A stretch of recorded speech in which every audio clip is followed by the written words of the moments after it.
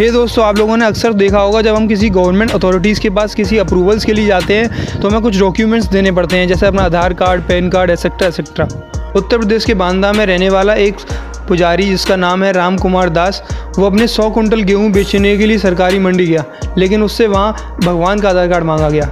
जी हाँ दोस्तों, दरअसल बात ये हुई थी, उसने जो गेहूँ उगाए थे, उसने वो मंदिर परिसर के अंदर उगाए थे। तो दोस्तों, ये अजीब सा वाक्य जानकर आपको कैसा लगा, हमें कमेंट करके ज़रूर बताएँ।